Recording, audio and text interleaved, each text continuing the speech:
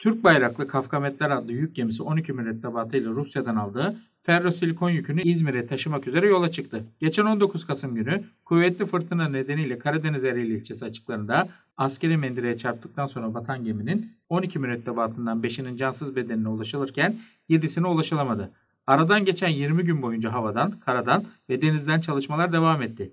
Deniz Kuvvetleri Komutanlığı, Sahil Güvenlik Komutanlığı, AFAD, jandarma, polis ve kıyı emniyetine bağlı ekipler, helikopter, bot, dalgıçların yanı sıra karadan da komandolar, AFAD ekipleri kıyı sahili boyunca arama tarama çalışmalarını sürdürdü. Geminin yaşam alanlarına çamur, kum ve taşıdığı yükün karışması sebebiyle parçalanarak karaya çıkarılması ve karada arama çalışmalarına devam edilmesi kararı alındı. TCG Akın gemisi çalışmalarını tamamlayıp limandan ayrılırken Nene Hatun Acil Durum Müdahale gemisinin geminin battığı bölgede çalışmaları sürüyor.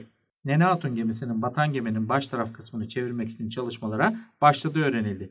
20 gün boyunca denizin altında çalışma yapan dalgıçların kayıp mürettebatı aramak için çalışma yapabileceği her yere girip arama yaptığı öğrenildi.